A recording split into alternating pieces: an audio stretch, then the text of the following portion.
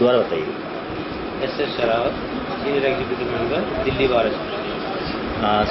ji आप ये बताइए कि जैसे आ, ये आजकल जो बलात्कार की जो घटनाएँ घट रही हैं छोटे बच्चों से छोटे बच्चे लड़कियाँ बड़े लड़कियाँ ये जो घटनाएँ बढ़ रही हैं इसमें जो सामाजिक तौर पर जो है जो आप लोगों के अंदर क्या मैसेज देना चाहिए जो ताकि ये थोड़ा सा क्राइम कम हो सके रेप का?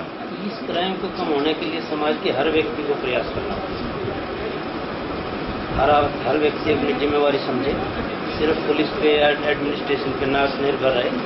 हमारे बुज़ुर्ग हैं हमारे बच्चे हैं जो है ना यूथ है।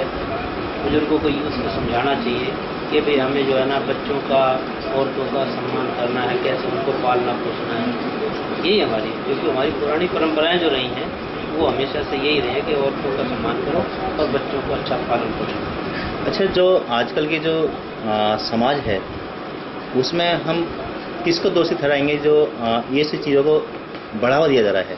मतलब जो बॉलीवुड बॉलीवुड है या सीरियल जो आते हैं या न बड़ी बड़ी फ़िल्में ब्लू फ़िल्म आती हैं, उसके लिए हम किसको दोषी ठहराते हैं?